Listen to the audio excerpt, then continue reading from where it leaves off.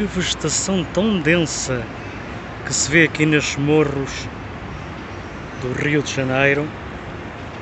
Estou a filmar do topo do Merlin Hotel. Muitos, muitos táxis. Acho que praticamente além do ônibus é a única maneira de se poder uma pessoa se poder deslocar